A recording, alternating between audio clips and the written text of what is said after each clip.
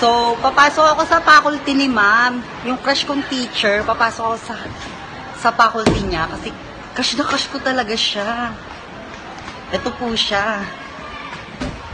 Naman niya? Hi, ma'am. Hi. Ako po si Tina. Hi, Tina. Tinamaan sa'yo.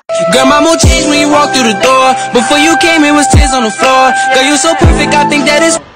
Hi, crush. Ano oras na? 4.32. Ano ba? Parilo-rilo ka pa eh. Wala naman siya oras sa'yo.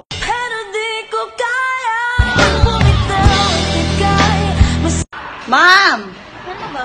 Pakicheck. Pa- Alin? parang mali yung relo mo. Bakit? Baka kasi ako na yung oras para sa'yo. Bakit na lang dalawa? Bakit na lang magsama? Bakit na lang... Crush! Ano ba, Tina? Di ba wala ka pang love life? Ba pangarap mo din? Gusto mo, agi tayo? Oo. Ako love mo, ikaw life ko. Ah!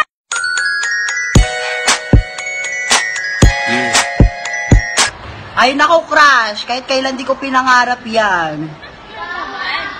Kasi pangarap ko maging broadcaster. Bakit? Para ibalita sa buong mundo na ikaw lang ang gusto ko. Yeah, I'm gonna take my horse through the old town road. I'm gonna... Parang ewan. At least, hindi kita ewan.